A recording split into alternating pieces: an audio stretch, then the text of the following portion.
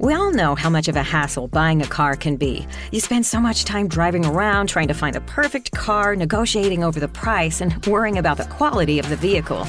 But not anymore. Vroom is the better way to buy and sell used cars. When you go to Vroom.com, you can shop thousands of cars right from your phone. They have all the popular makes and models and no haggle pricing, so you know you're getting a good deal. Best of all, they'll deliver your new ride directly to you. Vroom stands by its vehicles, too. Every car and truck from Vroom goes through a thorough inspection and reconditioning process and comes with a 90 day limited warranty.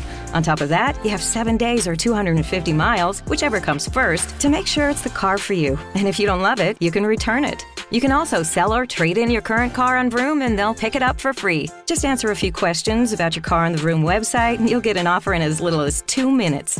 So whether it's buying your next car, selling, or trading in your current one, Vroom has you covered. Start shopping today at Vroom.com. That's Vroom.com. When I was diagnosed with cancer, it felt like my whole world came tumbling down. Patient Advocate Foundation is here for you, providing free one on one practical support to patients with a cancer diagnosis. Call us at 800 532 5274. Patient Advocate Foundation can assist in navigating disability benefits and health insurance options. PAF also helps in accessing vital services, medications, and financial resources for both medical and household expenses. Visit patientadvocate.org or call 800 532 5274.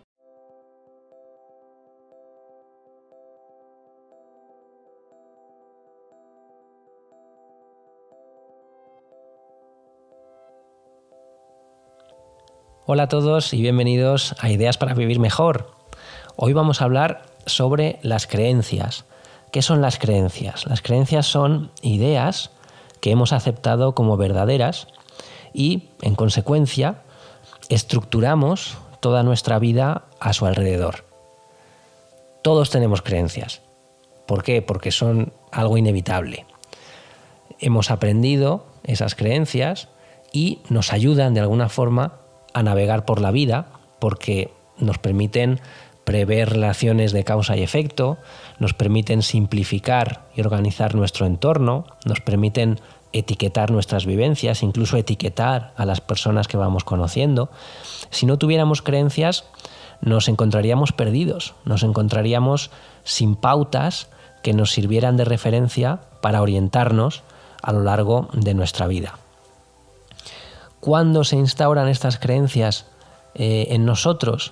Pues hay diferentes momentos. La mayoría de ellas durante la infancia. Nos las inculcan nuestros padres o nuestros profesores o la gente con la que nos movemos o incluso los medios de comunicación. Y esto sucede mucho antes de que seamos conscientes de cuál es la influencia que va a tener esa creencia en nuestra vida y por supuesto mucho antes de que podamos elegirlas, mucho antes de que seamos capaces de cribar a esa creencia y bueno, eh, decidir adoptarla o no adoptarla. Luego hay un momento posterior en el que se incorporan otras creencias, que son esas creencias que se generan por el hecho de que mm, estamos vivos y tenemos experiencias, y esas experiencias generan creencias. Por ejemplo, hay mucha gente a la que si su pareja le ha sido infiel, pues desarrolla un prejuicio, desarrolla una creencia de que mm, las parejas son infieles. Y entonces, a lo largo de su vida, va arrastrando un sesgo que necesariamente va a afectar a sus relaciones sentimentales. Y luego hay otro tipo de creencias que viven en nosotros de manera inconsciente y que se activan pues en momentos de peligro o en momentos de amenaza. Por ejemplo, el cerebro límbico activa el instinto de pertenencia, activa el, programa de conformidad social para permitirnos sobrevivir. Y eso pues, puede condicionar nuestras acciones sin que ni siquiera seamos conscientes de ello. Pero bueno, independientemente del momento en el que adoptemos una creencia, ya sea en la infancia, ya sea después de haber sufrido una experiencia positiva o negativa, o incluso en el caso de una creencia que surge en nosotros de manera inconsciente, pues lo que está claro es que todas esas creencias se van a integrar en el sistema operativo de nuestra vida. Las creencias crean conexiones neuronales en el cerebro y por tanto se convierten en aquello que moldea nuestros pensamientos, nuestras emociones y por ende nuestros comportamientos. Por poner eh, un símil, serían como programas informáticos que nos colocan ante una perspectiva particular del mundo. Pero esto tiene un pequeño problema, y es que nuestro cerebro no filtra las creencias basándose en su veracidad. Nuestro cerebro simplemente se queda con aquellas que le son útiles que, o que le parecen coherentes o que le proporcionan tranquilidad en un momento determinado y simplemente las acepta y las programa como parte de su software. Pero hay otro problema y es que a diferencia de los ordenadores, nuestro cerebro no es capaz de actualizar esas creencias de manera automática. No es como cuando enciendes el ordenador y te dice eh, instalando actualizaciones y el software instala esas actualizaciones y se hace mejor y las cosas que están obsoletas las elimina e instala nuevos elementos. ¿Qué va? Nuestro cerebro no hace eso. Por eso vamos funcionando por la vida en muchas ocasiones con programas obsoletos, con creencias que ya no están vigentes, pero que no hemos actualizado. Por ejemplo, creencias que provienen de experiencias pasadas y que no hemos reevaluado en base a nuestros conocimientos actuales o en base a nuestras habilidades actuales. Es decir, podemos haber tenido una mala experiencia hace años, por ejemplo en la clase de gimnasia del colegio, pero con el tiempo hemos ido adquiriendo más capacidades, hemos ido adquiriendo más recursos y por tanto si se repitiera esa misma experiencia a día de hoy, el resultado sería distinto. El problema es que nuestro cerebro no ha actualizado esa información, nuestro cerebro alberga la creencia de que somos malos en gimnasia, de que no se nos da bien y ahí se ha quedado esa creencia, no, no se ha actualizado. Es decir, muchas creencias que en su momento incluso nos pueden haber resultado útiles, pues hoy en día pueden haberse quedado obsoletas. Y por eso es bueno que revisemos de manera periódica esas creencias que albergamos y que eliminemos aquellas que ya no nos benefician y demos paso a otras nuevas. Y esto es importante porque las creencias que albergamos sobre nosotros mismos y sobre el mundo que nos rodea en general tienen un impacto muy profundo en nuestra vida diaria. Las creencias son aquello que determina nuestra forma de comportarnos.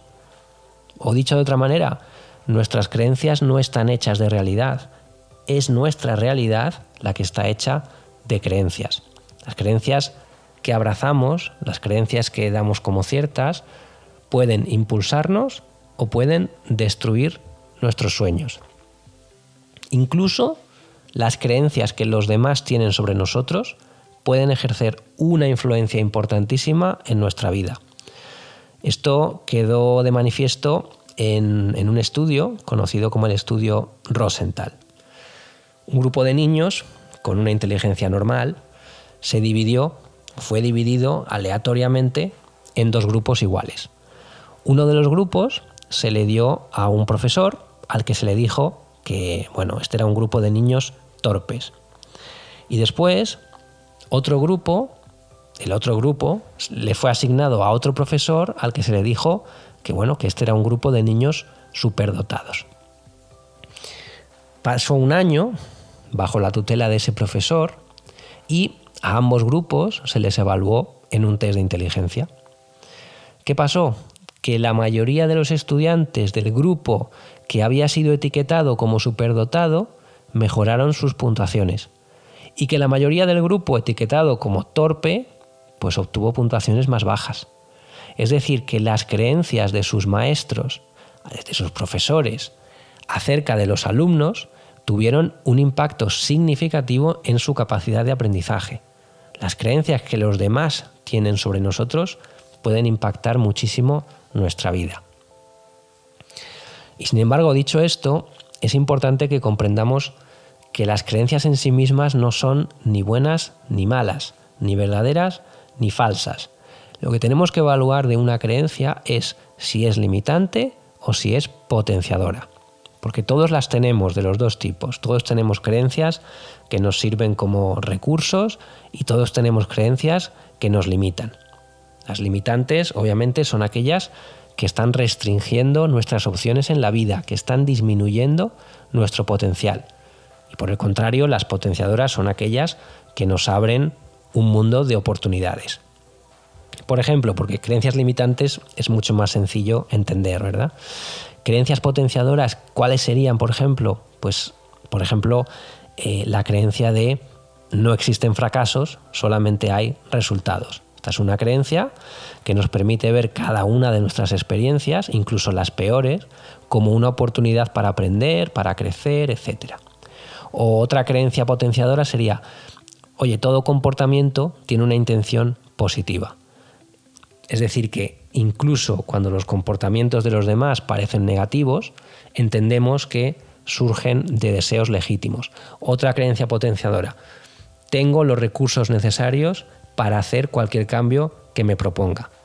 Esta es una creencia empoderadora porque nos reconoce que tenemos la capacidad interna de superar los desafíos y de hacer los cambios que estimemos significativos en nuestra vida. Claro, lo que pasa es que para ver qué creencias albergamos, tenemos que parar y tenemos que dejar de correr como pollo sin cabeza. Es en ese momento, en ese, en ese silencio, en esa reflexión, cuando vamos a poder acceder a nuestro sistema operativo para revisar nuestras creencias. Y entonces nos daremos cuenta de que en ese sistema operativo hay creencias que son heredadas, hay creencias que mantenemos ahí pues por hábito o incluso por un sentimiento de lealtad hacia la familia o hacia un grupo social. Entonces, es importante con este tipo de creencias cuestionarse lo siguiente. ¿Esta creencia me sirve para algo? ¿Esta creencia está sacando lo mejor de mí? Y lo más importante, ¿esta creencia está contribuyendo de alguna forma positiva a mi vida? O simplemente cuando te encuentras en una situación en la que sientes algún tipo de freno o sientes miedo, pregúntate, ¿cuál es la creencia que está provocando esta emoción? ¿Cuál es la creencia que está detrás de este sentimiento que estoy experimentando? Oye, si tienes una creencia que no te sirve para nada, que no está sacando lo mejor de ti, que no está contribuyendo de manera positiva a tu vida, mmm, clasifícala como limitante y elimínala elimínala, ahora, ahora veremos cómo. Y, siempre que te encuentres en esa situación de, miedo o de, mm, de, freno, de fricción, planteate cuál es la creencia que está detrás de eso. Porque probablemente esa creencia tampoco te interesa mantenerla dentro de tu sistema operativo. La buena noticia es que podemos cambiar las creencias antiguas, las creencias limitantes, por creencias nuevas que nos potencien, que expandan nuestro potencial de manera significativa. Y te sugiero siete pasos para hacer ese cambio. El primero, está claro, es el de siempre, tomar conciencia. Lo primero que tienes que hacer si quieres cambiar tus creencias es ser consciente de que tienes esas creencias, identificar cuáles son esas creencias, o bien que están obsoletas, o bien que te limitan, etcétera. Tomar conciencia. Segundo paso es elegir una creencia. De esas que están obsoletas, de esas que te limitan, selecciona una para poder trabajar en ella. No se pueden trabajar todas las creencias a la vez, es imposible. Se, se trabajan las creencias una a una. El tercer paso es poner en duda esa creencia, cuestiónala. Analiza cuáles son los hechos objetivos en los que te basas para darla como cierta. Por ejemplo, qué hechos concretos te llevan a creer que tú eres incapaz de conseguir algo. ¿En qué te estás basando para decir que tú no puedes emprender? ¿O que tu proyecto no va a salir adelante? ¿En qué hechos objetivos te estás basando? ¿Por qué tú eres peor o menos o más incapaz que la gente a la que las cosas le están yendo bien? El cuarto paso es decidir de manera consciente qué creencia quieres instaurar en su lugar. Esto con las creencias es pasa lo mismo que con los hábitos. Es mucho más sencillo cambiar un hábito negativo por un hábito positivo con las creencias es igual, es una creencia limitante se cambia por una creencia potenciadora. Así que tienes que elegir eh, con qué vas a sustituir esa creencia limitante, con qué creencia potenciadora.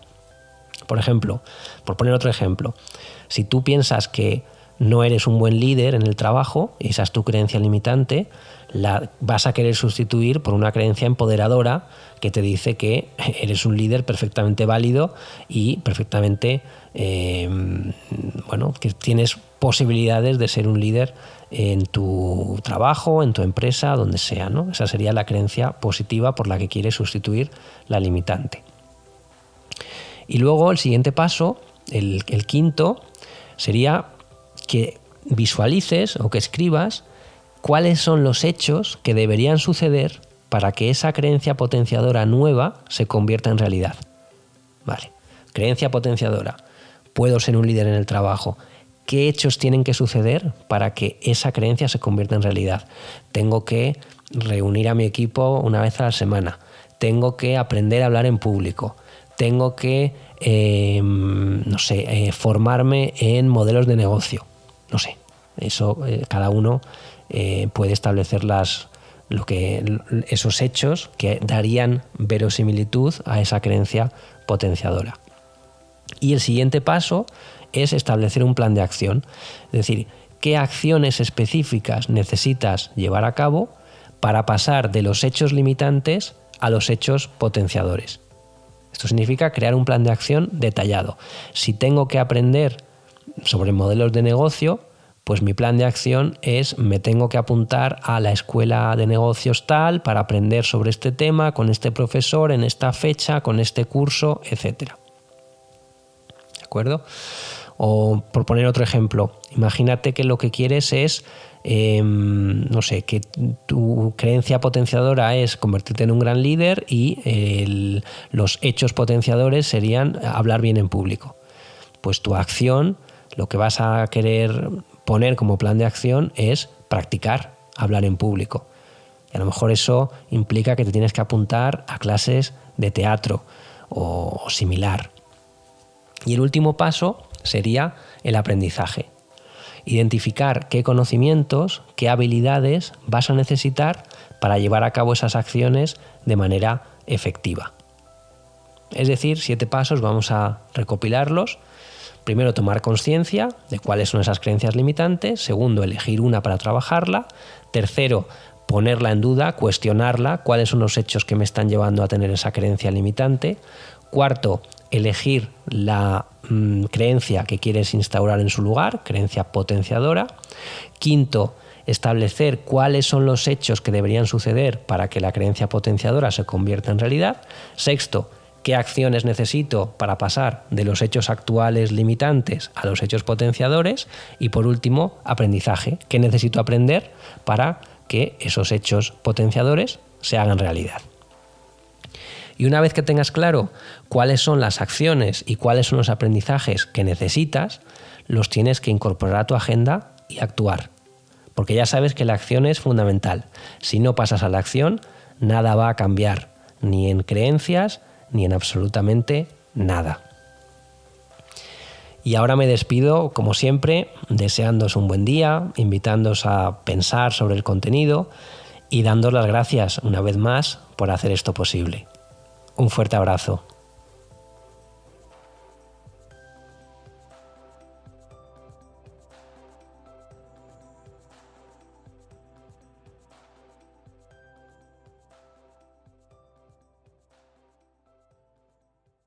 With lucky Land slots, you can get lucky just about anywhere. Dearly beloved, we are gathered here today to. Has anyone seen the bride and groom? Sorry, sorry, we're here. We were getting lucky in the limo and we lost track of time. No, Lucky Land Casino, with cash prizes that add up quicker than a guest registry. In that case, I pronounce you lucky. Play for free at LuckyLandSlots.com. Daily bonuses are waiting. No purchase necessary. Void where prohibited by law. 18 plus. Terms and conditions apply. See website for details. Okay, round two. Name something that's not boring. A laundry? Ooh, a book club. Computer solitaire, huh? Ah, oh, sorry. We were looking for Chumba Casino. That's right. ChumbaCasino.com has over 100 casino style games. Join today and play for free for your chance to redeem some serious prizes. ChumbaCasino.com. No purchase necessary. Full prohibited by law. 18 plus terms and conditions apply. See website for details.